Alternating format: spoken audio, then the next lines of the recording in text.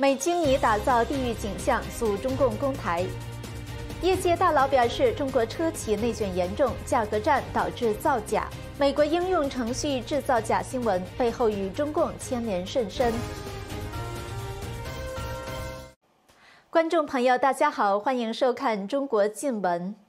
中国东北吉林省六月十日发生一起公园持刀伤人事件，四名外国人被不明男子袭击刺伤。当天，伤者倒卧在地上，浑身是血的视频在海外社交媒体上疯传。同时流传的还有一张当地警方通缉一名叫做崔大鹏的男子的通告。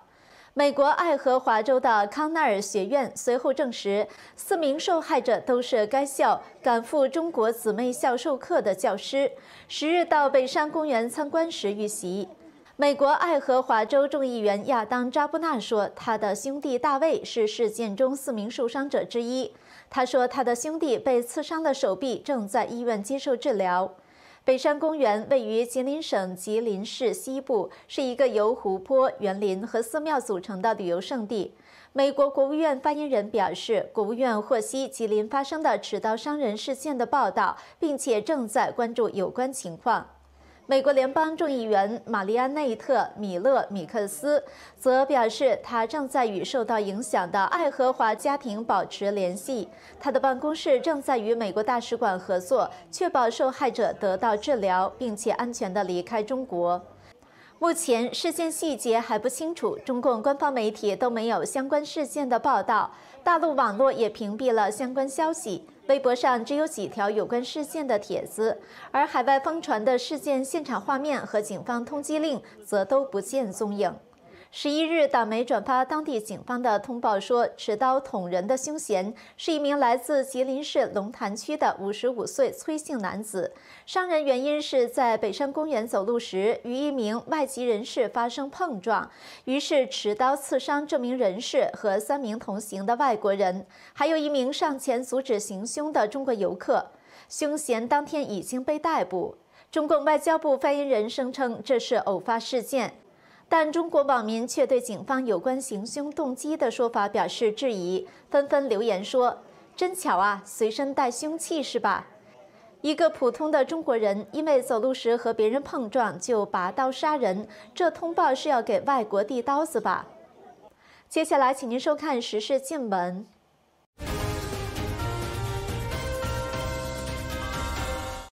美国印太司令部司令近期向媒体透露，挫败中共攻击台湾的关键是一项名为“地狱景象”的作战计划。最近，美国总统拜登第五度公开表态，不排除出兵保护台湾。而美国印太司令部司令帕帕罗近期在新加坡参加香格里拉对话安全会议期间，接受《华盛顿邮报》专栏作家罗金采访时表示，“地狱景象”策略是挫败中共侵台关键。帕帕罗表示，中共不想重蹈俄罗斯入侵乌克兰的覆辙，陷入长期消耗战，因此希望侵台战争短暂而猛烈，可能会在无预警情况下对台发动大规模攻击。而美军准备在台海领空、水面和水下部署数千艘无人潜艇、无人水面舰艇和空中无人机。一旦中共军队开始穿越，会瞬间让台海成为无人地狱，把中共军队困在里面，以此为台美和伙伴部队争取全面反击时间。他所说的这是一个比较具象的形容，也就是让中共的登陆舰队无法跨海，这个情况就可以用很多手段来达成。无人机、无人船或水下的无人潜舰只是其中之一。包括反舰飞弹或是水雷等等的方式。帕帕罗没有说明具体细节，但他说这是做得到的。他的工作是确保从现在到二零二七年及以后，美军和盟国能获胜。这部分我觉得做到机会很高了，因为两栖登陆是很困难的，特别是在。台湾比乌克兰来的幸运的情况之下，因为相对的台湾海峡呃比较宽，所以是易守难攻。只要投入正确而且及时的防卫装备，自然就可以阻绝共军跨海占领台湾。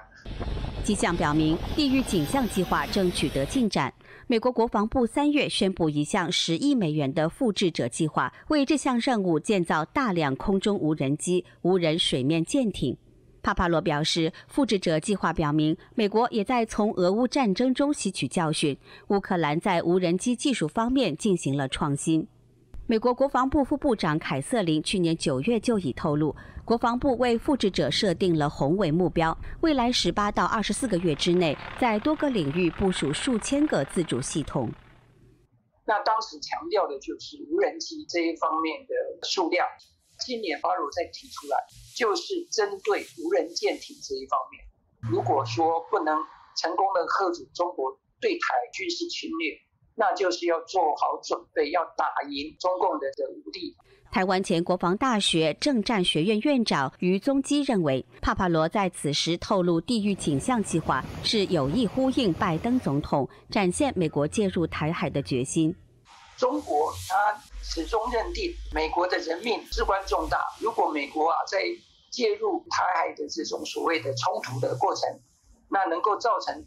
美军重大的伤亡，这个时候啊就有办法复制越战经啊经验，就是让美军国内啊开始反战。美国的处置方式就是透过无人载台、空军、海上的攻击啊，其实可以大量的节约啊兵员这一方面的生命的消失。美国这样的一个准备，就会让中国啊占不到任何的优势。帕帕罗提到，亚洲地区现已进入更危险的时代，要么屈服，要么武装到牙齿。不过，罗金指出，美国光是无人武器系统也无法应对中共大规模的军事扩张，而且美军目前没有反制中共极音速巡弋飞弹的可靠方法，太空设备也容易受到攻击等。高超音速飞弹的确是一个新的威胁，美方也积极投入开发防御系统。第二个，相对的高超音速飞弹的数量是有限的，所以它是一个威胁，但不是一个重要的战略议题。第三个是太空中的卫星，的确他们是比较脆弱的。不过由于美国有三千多枚以上的卫星，所以基本上这些形容都是说中共有新的能力，呃，会形成一个潜在威胁。但是这些潜在威胁并不会改变战略的结果。目前，复制者无人武器系统的交付时间还不明确，而帕帕罗强调，时间不等人，美国必须尽快让这些计划变成可行策略。中国汽车业内卷让业界大佬也连声叫苦。六月七日，在中国汽车重庆论坛上，广汽集团董事长曾庆红直言，价格战已经使企业不堪重负。吉利董事长李书福虽然没有到场，但通过视频表示，中国汽车业内卷是全球第一。中国汽车工业的内卷程度全球第一，价格战一浪高于一浪，也是举世无双的。中国最大民营汽车制造商吉利汽车创办人兼董事长李书福六月七号在二零二四年中国汽车重庆论坛上通过视讯演讲表示，中国汽车行业内卷严重，无穷无尽的内卷，简单粗暴的价格战，其结果就是偷工减料、造假售假、不合规的无序竞争。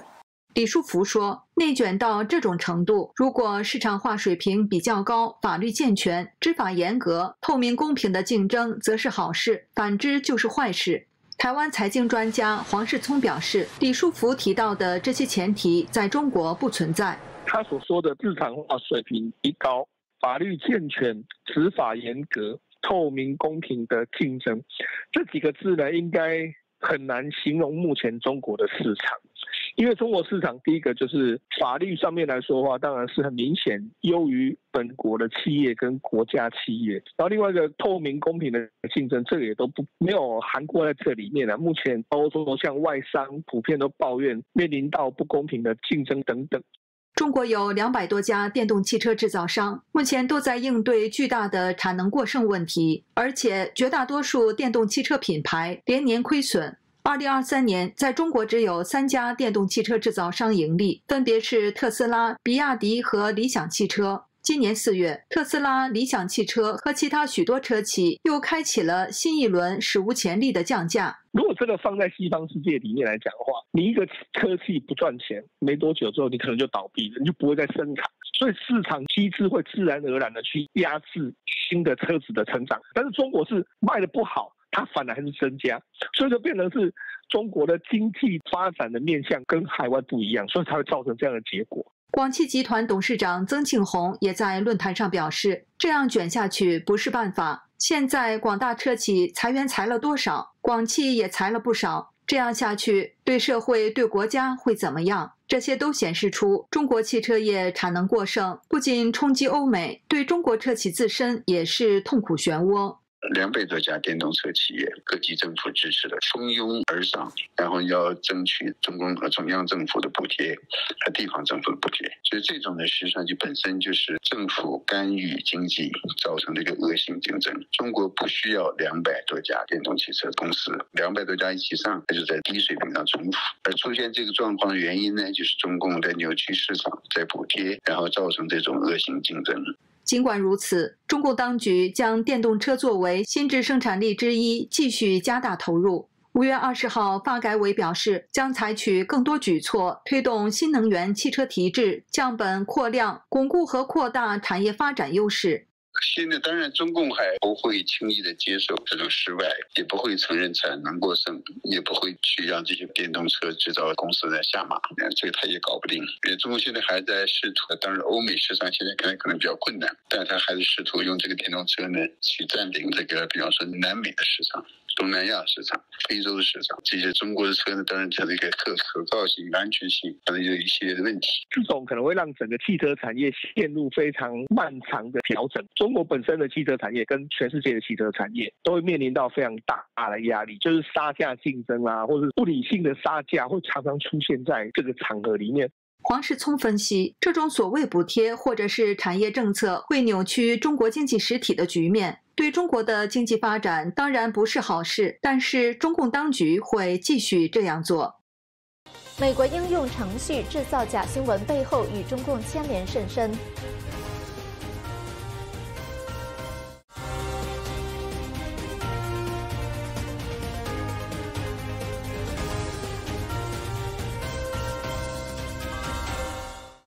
辽宁省大连市法轮功学员孙彩燕于五月十二日被南沙派出所警察绑架，当晚被抄家，现在被非法关押在大连姚家看守所。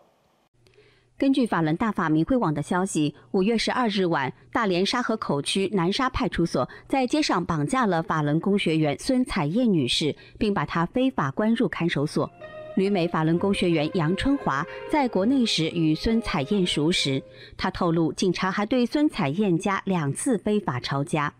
五月十二号晚上，大连沙河口区南沙街派出所，在街上绑架了孙彩燕，然后对他家进行了野蛮抄家，没有出示任何合法的证件和手续。然后在第二天呢？南沙街派出所的警察又让他未成年的儿子打开了他们家的密码锁，进行了二次抄家。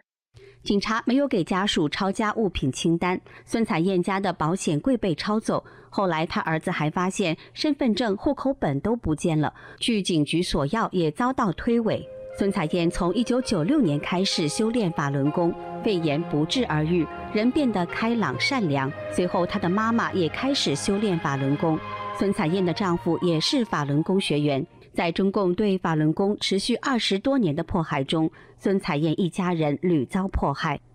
她曾经好几次被迫害，二零一四年好像是被关在辽宁女子监狱三年零三个月的时间。她的先生就是在迫害中离世了。当年她先生是在大连教养院被迫害、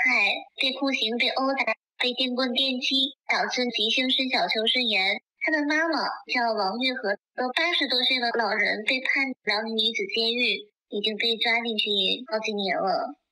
孙彩燕的公公亲眼目睹警察野蛮抄家，儿媳被绑架，以及警察不断上门骚扰，精神受到极大重创，卧床不起，在二零一六年六月不幸离世。孙彩燕的父亲也由于社区街道工作人员无端骚扰、警察恐吓，长期受到极大的精神压力，身体每况愈下，于二零一九年去世。父亲和丈夫的相继离世，使孙彩燕家里失去了经济和精神的依靠。妈妈王玉和被劫入辽宁女子监狱迫害后，大连金浦新区社保二零二三年四月开始又非法停发她的退休金。这次孙彩燕再遭绑架，家中只留下未成年的儿子。孙彩燕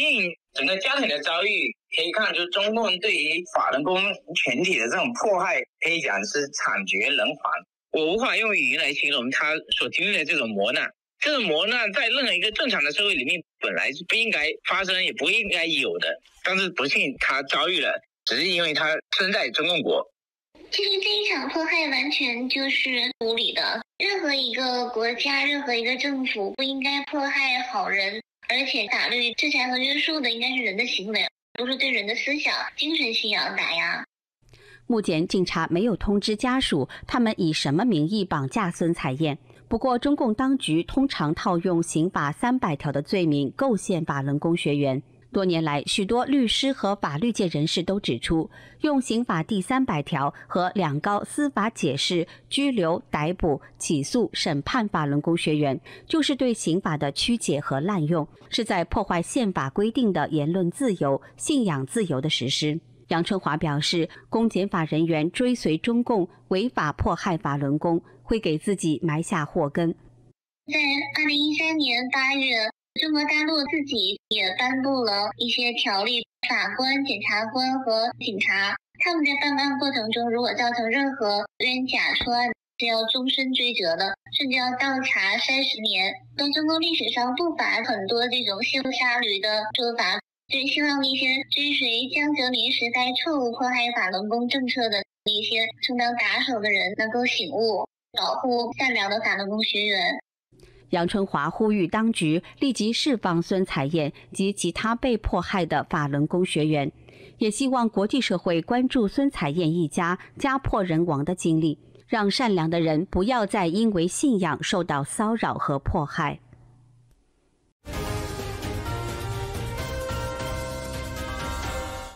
下面我们来关注中国大陆各地民众维权的情况。福建一人士向锦峰疑因网上言论，二零二二年九月被拘留，具体罪名不详。日前，知情人士表示，向锦峰已被判刑四年，目前正在福建省永安监狱服刑。大陆公民记者张展服刑四年，刚刚获释不到一个月，就再次遭到上海警方传唤威胁。六月九号，张展在微信朋友圈发消息说。警察威胁他，再碰红线就进去。据维权网报道，张展出狱后，海内外维权人士都非常关心他的身体。上海及上海附近的一些朋友前去探望，通报了一些信息，这引起当局不快，于是对张展予以传唤威胁。河北衡水滨湖国际商城的商铺业主六月十号继续在商城前拉横幅维权，业主们高喊口号，要求禁止商城，强占商铺。还他们租金。湖北襄阳维权人士何斌、徐彩虹夫妇因财产被侵占上访多年，二零二二年九月再次进京上访时，被警方从北京带回襄樊关押，至今已经一年九个月。警方以二人多次进京上访，多次被刑拘为控罪依据，案件开庭四次，仍然没有判决。目前，何斌、徐彩虹都被关押在襄阳市第二看守所。美国热门新闻综合应用程式 Newsbreak 因为使用人工智能传播假新闻，目前为止至少有三名美国国会议员要求对 Newsbreak 进行更加严格的审查，理由是这家公司贩售未经核实的人工生成新闻，与中共政府的关系相当密切。目前，美国下载量排名前三的免费新闻应用 Newsbreak 是一个起源于中国的免费应用程式。Newsbreak 二零一五年在美国推出，并曾使用人工智能工具来制作假新闻。去年平安夜，Newsbreak 试出了一篇关于小镇枪击案的惊人文章，标题是“圣诞节悲剧袭击新泽西州布里奇顿小城镇，枪支暴力上升”。新泽西州布里奇顿警察局于十二月二十七号在脸书宣告，这是使用人工智慧技术制作的虚假文章。Newsbreak 在文章发表四天后才删除了这篇文章。据路透社报道，Newsbreak 是中国新闻应用城市一点资讯的子公司。二零一七年，一点资讯因高效传播北京宣传而受到中共表扬。目前的所披露出的 user break，它所出现的错误，犯的一些问题。它可能有两种可能，第一种可能呢，它就是一种技术原因，就是那个人工智能呢，它这个编写新闻的时候呢，由于它的算法呀，由于它的信息的抓取啊，存在一些局限性或者存在一些问题，导致这个新闻出错，这是技术上的原因。另外一种原因呢，可能就是中共目前呢，利用人工智能，它在测试，故意做出一些假新闻来，来测试一下美国的反应、各界的反应，然后呢，它来进行以后的改进。路透社采访了七名前 Newsbreak 员工，其中五人表示，这款应用程式演算法背后的大部分工程工作都是在位于中国的办公室进行。这样的公司表面形上是美国的初创企业，但是它背后有中国的股东，而中国的股东跟中共官方、军方都有密切的联系。他们要把这个事情曝光出来，而且要把这个线索、这种联系渠道给它截断，就是说。美国可能会在这方面推出一些立法，就是禁止中国的一些国资啊，或者一些机构啊，对美国像 Newsbreak 这种企业进行投资。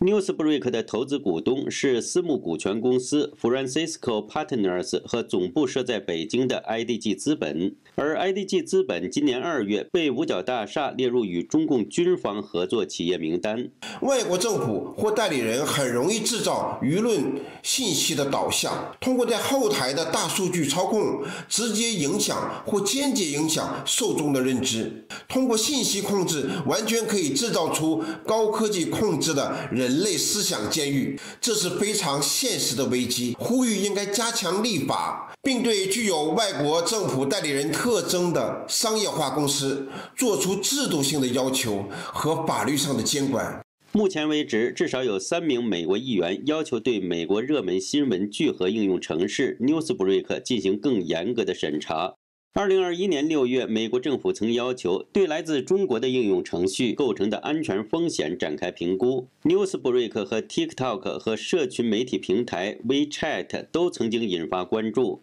今年四月，拜登总统签署法律，要求 TikTok 的母公司字节跳动出售 TikTok，否则面临被禁用。评论认为，Newsbreak 其实就是另一个 TikTok。这种新闻生成软件远比 TikTok 危害大。这种软件编造的信息更像新闻，而且是在误导边缘地区的普通民众。原来在纸媒体时代，地方新闻通过当地的报纸传播。现在各国地方传统新闻媒体都在倒闭，存在巨大的市场空白空间。Newsbreak 趁机进入这个空白的市场空间，会直接影响选民的判断，甚至可以影响。到民众选举投票。针对美国当地通过人工智能来制作新闻，这个是属于当前最新科技、人工智能科技的发展的一个新兴领域。那么这个里面呢，中共把这个当成一个对美国渗透的重大工具，当然包括使用大外宣在内了。它的潜在用途是很大的，它可以对美国发动信息战、发动舆论战，可以干扰美国人的新闻接收状态，干扰他们正常的社会判断，甚至干扰美国大选。报道引用版权侵权相关的法庭文件、电邮以及一份2022年的公司备忘。文件当中记录对于 AI 生成报道的担忧，识别出至少40个实例，显示 Newsbreak 利用 AI 工具影响其服务的社群。美国国务院去年九月公布的报告，中共正在花费数十亿美元在全球散布假讯息。中国民众说，疫情之后身体变差，经济不好，明白了瘟疫是针对共产邪灵而来，声明退出中共组织。四川省成都的潘志明说，打过疫苗后免疫力被破坏，现在明白了真相，瘟疫是针对共产邪灵及其追随者来的，自愿退出中共恶党的党团队组织，解除毒誓，同魔鬼划清界限。江苏的镇元等十三人说：“我们愿意退出中共的一切组织。现在国内经济不太好。”共产党为了刺激老百姓的消费，在旅游业上下功夫，低价一日游，再送很多产品，例如鸡蛋、鸭蛋等农产品，再把人带到某个地方进行讲课，促进消费。现在中国旅游业只要是一日游，大都是这个，有些产品好坏也不去强调，在哪里买真品，真的不敢去想了。好的，观众朋友，我们这一期的中国经文就到这里了，感谢各位的收看，我们下次节目时间再见。